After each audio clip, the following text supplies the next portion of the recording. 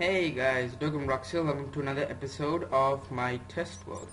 And in this episode, I am really excited. Well, the reason for that is because I updated Minecraft version 1.4. Yes, I'm a little bit late on the update, unfortunately. That's because my computer wasn't working for some time, but now it is. Um, yeah, so I was really excited about 1.4 um, not because of anything but be, well, there were a lot of things I was excited about for example the wither that was kind of cool yeah new mob boss. The witches I'm not really um, certain about.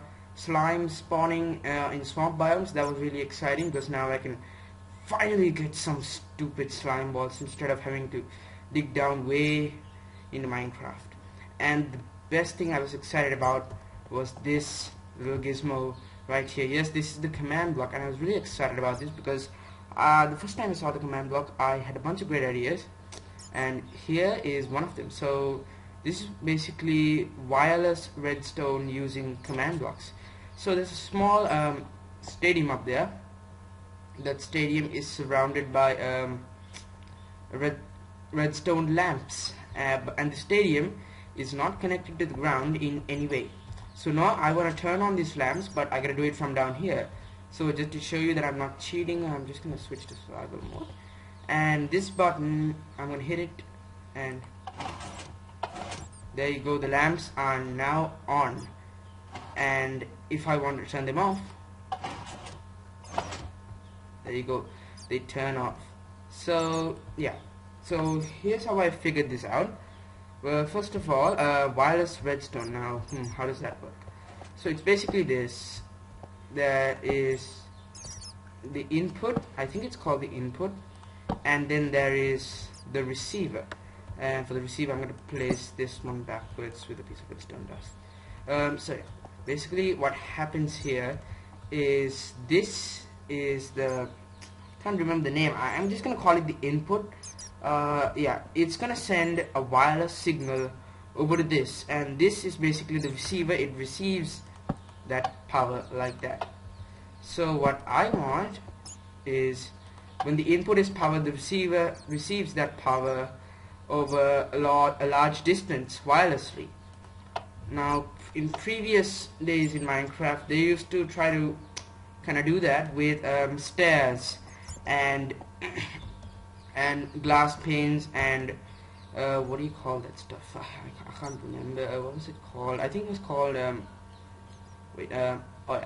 Iron bars. Iron bars. So they used those things to do wireless redstone, and the reason they used that was because they are they had very irregular hitboxes that constantly update. So they used that method to create wireless redstone, but it wasn't that efficient. Uh, because it could cause lag because it relies on a small piston system it causes lag and um, that thing uh, like if you send a signal to one of your inputs all the outputs are gonna turn on and yeah that was something like that. So I needed a way to figure out to send a wireless signal from this one to this one. And then I told myself hey did this does this have to be a signal? Why can't it be anything else like an item? What if you could send an item and convert that power into redstone signal? Then I realized hey with the new command box you can send the player. So that's exactly what this does. So when I hit this button this command block has a teleportation command in it and it's gonna teleport me into this box. So just ignore those buttons that I just placed them there. So when I come inside this box I'm going to step on this pressure plate and as you can see there's another command uh, command block inside there and it's going to teleport me right here. It's going to tell me teleport me right back here. So how do the lights turn on and off? Well easy I step on the pressure plate and I'm instantly teleported right there but I step on the pressure plate it causes uh, a one tick uh, what do you call this? Oh my god I'm forgetting names. Um, a one tick pulse limiter that causes this piston to go up which causes this sand rise thus powering this um, these redstone lamps. So yeah it's like a toggle. So uh, like so it's really instant. That's what I like about it. Like the moment I press this button I get teleported all the way up there and then I get quickly teleported all the way up there. So you can't even see what's happening. So yeah it's so fast. Yeah but you get a glimpse of these redstone lamps or the redstone wire because uh, you're traveling so fast. And you want to seal this off? The thing is um, you want to make this about three blocks high and, and you want to seal this off. The reason why not making two blocks because when you teleport it here you're actually here floating one block above the air.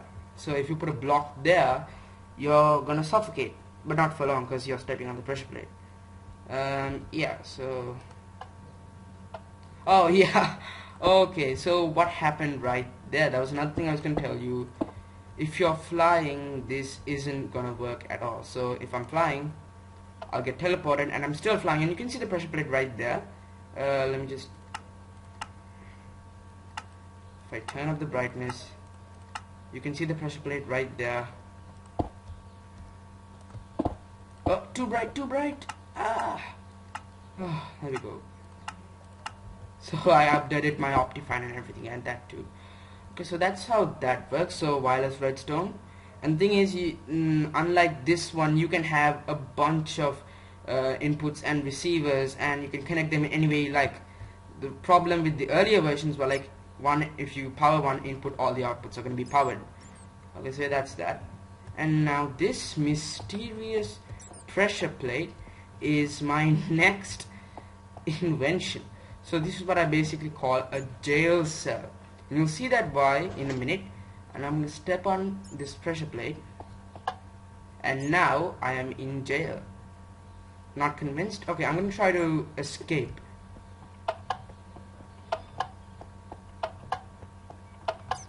I cannot escape. See, I'm running. Ah, help, help. So it's no use. But if I'm on creative mode, then I can, yeah, there you go. I can fight the current. So, how does that work?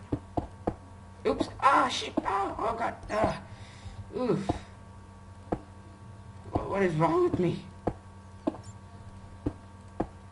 Uh, oh my god dirt okay so here's the circuit. So when I step on this pressure plate it's gonna cause this torch to turn off. When I get off the uh, oh sorry when I step on the pressure plate it's gonna turn the torch off.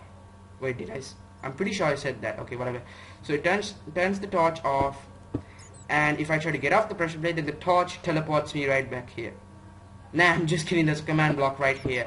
See uh, and this command block is actually set to teleport me all the way back to this pressure plate. So once oops fail.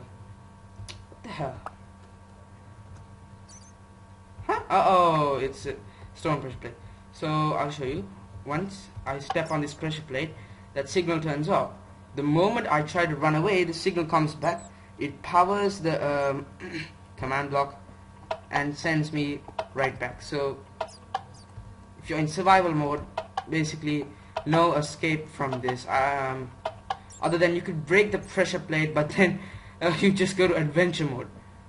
Then you won't be able to break anything. You can play stuff though. Yeah but that's not gonna do anything. Yep absolutely nothing at all. So yeah this is like a cool jail cell you could use this on servers I guess. So the thing about creative mode is if you're flying and it teleports you all the way back remember this instant where I was floating about the pressure plate same thing here. If I'm flying and the pressure plate turns off the torch will power this and I'll get teleported back but I'll be floating on top of this so I'm not pressing it so I can fly away. Yeah but I'm pretty sure the map makers aren't gonna give you creative mode okay so yeah that was pretty much it for this test world. I think this was the longest episode I did. Uh, I'm not that sure. Anyway guys some thanks for watching. And if you're wondering CNB's 4x4 piston door thingy uh, it's kinda cool. So yeah thanks for watching this week's test world. I will see you guys some other day. Oh that was cool